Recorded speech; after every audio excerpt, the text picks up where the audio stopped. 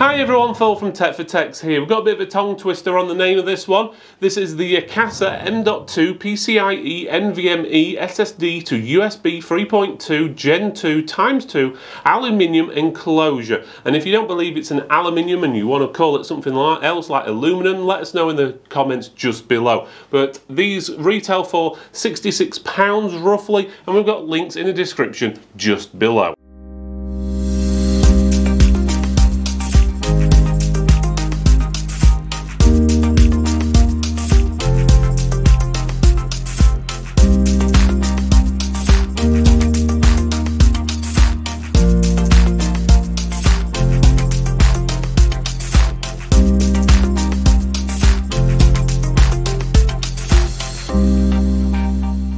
Before we go on to the main video, if you would do us a favour, click that like button, subscribe, click the bell as well. That way you'll get notifications of new videos and live streams we do.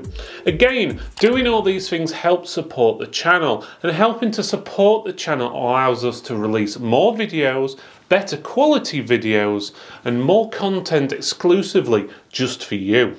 So let's have a quick look at the box. As you can see, it says Akasa. You've got the actual device here. It's sort of a silver, silver or metallic design on a black box with sort of a cobweb design. Behind it, it's got a QR code which takes you to the Akasa website. It says it's USB type C. I'm hoping it comes with a USB type A adapter as well, which makes it more convenient. It come it works at 20 gigabits per second, and we've got the name there, which I'm not going to read out all over again because it's a bit of a tongue twister. Otherwise, on the box on this side, it does say on there it's USB 3.2 Gen 2 by 2 or 2 times 2 depending on how you want to do it and you've got that 20 gigabits per second on there as well so it says type C and you've got a UASP support as well PCIe SSD and again it tells you it's USB 3.2 type C. On the back it tells you a bit of information about the enclosure. So you can see you've got the the back part there. You put your SSD in the thermal pad there and you put the top on and there's a couple of screws what screws the end on. It's pretty simple. So basics is to this what it is it's an enclosure, so if you've got a really high-end SSD, so something like an NVMe based F uh, SSD, which runs at maybe 1,000, 2,000, maybe even 3,000 megabytes per second, you've got the option of obviously plugging it into here and using it as an external device so you can use it and copy information onto it and then take it to another PC let's say from home to work or vice versa or store some games or even just use it as a general storage device or a large USB memory stick. Maybe a little bit larger than a standard USB stick but still you can fit a lot of storage capacity on there and very fast a lot faster than what you get on a standard USB memory stick.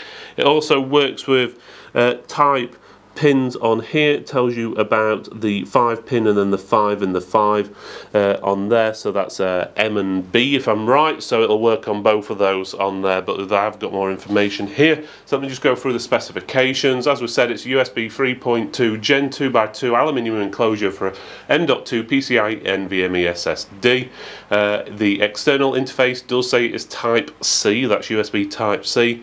And the this is keyed and compatible with M key and 2 times B plus M key SSDs compatibility, PCIe Gen 3, Gen 2, Gen 1, uh, times 2 times 4 NVMe SSDs of sizes of 2280, 2260, 2242, 2230. Uh, that's the actual measurement size. So the one what says 2280 is generally the standard size, but you can get some smaller ones. Transfer rates is basically if you're using on the USB 3.2 Gen 2x2 uh, is up to 20 gigabits per second. But obviously, if you're only using it on a USB 2 connection, and obviously there's not many USB 2 uh, Type C socket, so you probably wouldn't need an adapter. Uh, it would be as low as 480 megabits per second. Obviously, it's solely dependent on the socket you're using it on, and also the SSD you decide to put inside.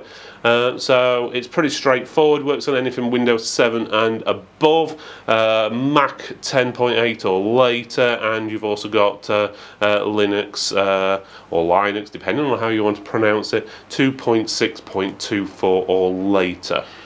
Okay, let's have a look what's in the actual box. So first of all, we got four plastic bags or three plastic bags and an anti-static bag. Are these all really needed? Maybe one or two of them, but anti-static bag, this came in the anti-static bag, which obviously it's an aluminium enclosure, so that shouldn't really need anti-static. Uh, it comes with a bag anyway, why couldn't it couldn't come in there? Saves a bit of packaging, save the environment, save you money as well, and so forth.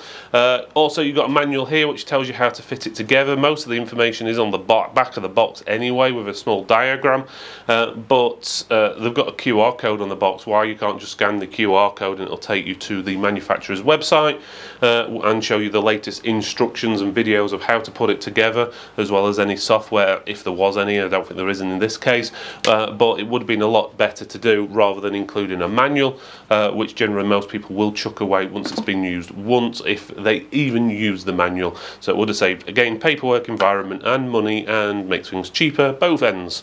Right, so on top of that we've got a nice little bag to keep it in, so that's nice. Not sure if most people will use it, but you do have one. It's not it's a nice little bag, drawstring on it, keep it nice and tidy and keep it somewhere safe, which is pretty good. You've got the cable, which is USB Type-C on both ends. There is no adapter for USB Type-A, which is a shame because if you want to plug it into a USB Type-A device, you've got to go out and buy yourself another adapter, which it wouldn't cost them too much to add one in the box, in all honesty. Some other devices I have seen do come with them um, because let's put it this way not a lot of devices have still got USB type C on them. Yes a lot of smart devices do uh, but not every laptop does not every PC does. Um, so we're still stuck on a lot of devices using standard A connections. So it would be nice to have an option of if you've got let's say a laptop with USB type C you can copy stuff onto that and then you go to your PC which doesn't have a USB type C. You've then got to get an adapter and you can't plug it in basically until you've got that adapter. So an adapter would have been a nice inclusion. On top of that, you've got a thermal pad which will go on top of the NVMe SSD when you've bought one. And this little plastic thing, I'm guessing that's going to be the clip which holds the SSD in place. Let's open it up. So it's the first time I've opened it up, so let's have a look. Well, actually, let's have a look at the casing first. As you can see on there, it's got a serial number which has been stuck on. It's also got a model number on there as well, recycle and CE mark on there and on the other side it's got the manufacturer's name which is Akasa. It's got a nice sort of a ribbed effect on there is probably the best way. So it obviously helps it dissipate the heat. On the end you've got a plastic bit and on this end you've got two screws. So this is basically thumbless design so or should I say screwless design or toolless design or however you want to do it. But to open this up you just basically screw these things and they are a bit tight so anti-clockwise. That's one out, and then the other one, same again. So that comes out, and I'm guessing that will then slide out. Yeah, that end bit comes out, and the bottom end you can see it's just started parting away. I'm guessing you just give it a good push. Yeah, you push it that way, and it opens up. Obviously, if you read the instructions, which I know most of you are not going to do, then it'll show you a bit more information. There is already a clip in there for the uh, to hold the SSD in by the looks of it anyway, uh, but it does seem that they've uh, included an extra for you just in case. So if you're not sure how this is going to fit, you'd basically go out and buy an NVMe based SSD like this one. This is an XPG one, which is ADATA You don't have to specifically get one from them. You can get other ones, Lexar, Altial, Kingston, whatever you want. The basics is you just slot it in there, push down, and then you should just turn, if it's going to, this little plastic thing at the end around. It's a little tight to be honest. Get it turned all the way around. Oh, it's not wanting to turn all the way around. Oh, there we go. So that's locked it into place. So you do have to give it a bit of a, uh, a pull round, uh, but once it's in, it's in. Now you've got the obviously the SSD inside there, you do need to put the thermal pad on. So generally it's usually a sticky, so you have to peel the thing off of one side. That then sticks on top of the SSD like that and then you peel the other part off There we go. So what happens then is when these are together, that pushes against there and then helps dissipate the heat through the casing. So now we need to put it back together. Uh, so to put it back together, let's do it this way round. You turn it upside down, slide it in. There we go. So that's in. So now we need to get the plastic cap on the end. I'm guessing Let's have a look. So it'll have that bit sticking out, so it'll go that way around. He says.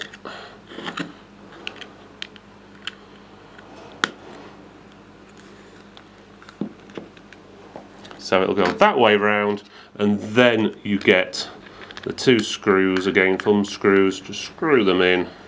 Don't go over tight because then if you ever need to open it in the future, it'll be very difficult to open because there's no ways you can open that with a screwdriver. You'd have to get pliers on it if it did seize for any reason. And that's basically it. And then you just get your obviously cable plug it in there because it's USB type C it doesn't matter way which round it goes. Then you plug that into your laptop PC whatever device it may be which takes a USB type C connection. And you're up and running so you've got yourself a high speed external drive which is going to be a lot faster than a USB drive and again you can make it whatever size you pretty much want. So if you want a 2 terabyte a 4 terabyte NVMe SSD in there you can stick it in there. If you want a really high speed one let's just say like a Samsung Evo or something like that you can put one of those in. As long as it's an NVMe type drive you shouldn't have an issue so we tested the device, we found that it managed to do up to around about 2,300 megabytes per second on the read, and on the write we got around about 2,150, which is very fast. But again, this is all dependent on the SSD you use.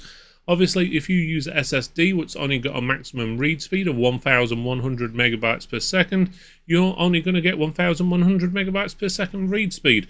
So the max we were able to do, we used a, uh, a Samsung Evo drive, which is capable of well over 3,000 megabytes per second, and it only worked at around about 2,250 to 2,300 megabytes per second, which is still pretty good, especially for an external drive.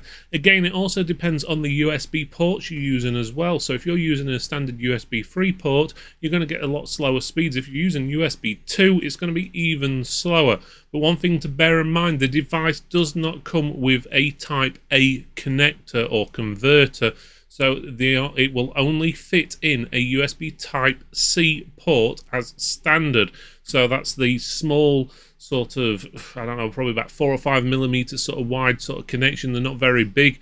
Um, and you really want to watch out for that because obviously if you have got a device which hasn't got any USB type C connections or you want to connect it up to a device what has only got USB type A then you're going to struggle. So I would suggest you get an adapter and I would recommend that Akasa actually include these adapters in the box. It would be very helpful and would also score them a lot higher on the review as well if they did but saying that, it's a very fast product. It does everything it says on the tin. As we said, high speeds, it's portable. You can put whatever type drive, whatever size you want in there pretty much. So it's all singing and dancing.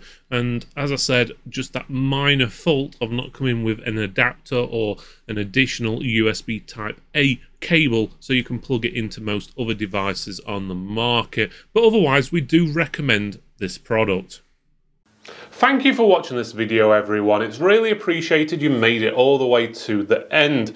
Please make sure you subscribe, like, comment and even click that bell so you get notifications of new videos and live streams. It does help support the channel and supporting the channel basically means that we can release more content for you and also better quality content going forward. Thanks again for watching and I'll see you next time.